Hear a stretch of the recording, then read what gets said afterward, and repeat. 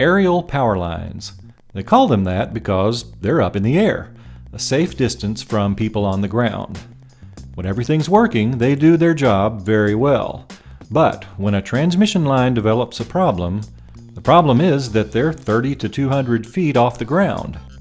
We routinely fly lines with a helicopter, but you can't get right on top of the insulator and then you can only get so close from looking at from the ground. A new solution Entergy's trying out?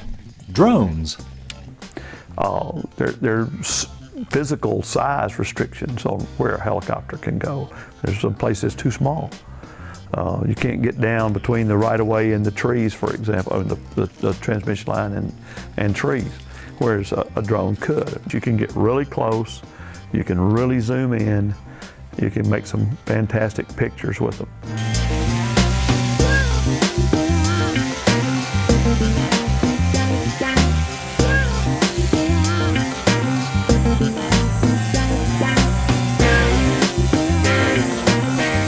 Know, it's safer. You can do it from the ground. The drone can get up there close and take your camera, zoom up to it, and uh, so uh, plus it's going to save time. I mean, obviously, if you got guys moving from one one to the next and having to climb and, and all that, you can pick the drone up, weighs about 15 pounds, move down to the next one, put it back in the air, and uh, and be able to see it on the screen while you're there.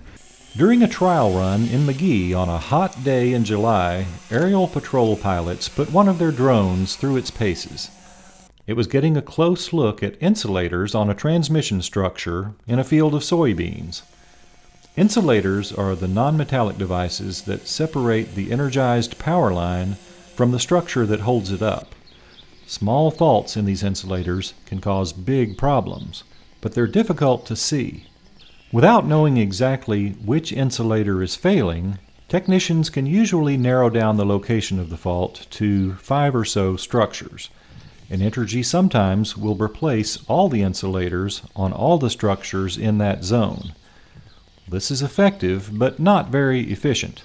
If this drone technology, if we can expand on it and it'll actually show us, a, you know, an insulator that is starting to break down and may have been the problem to begin with, we can change one versus 10. So we're improving the system uh, immediately and also we're saving uh, dollars.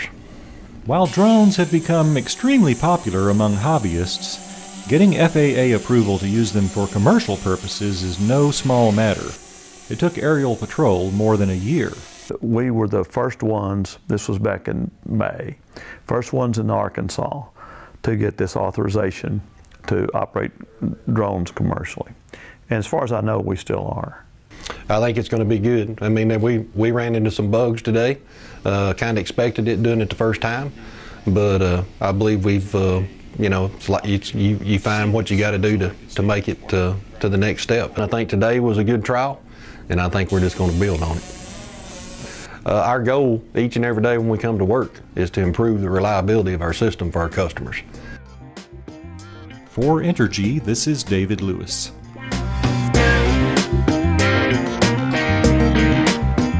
You.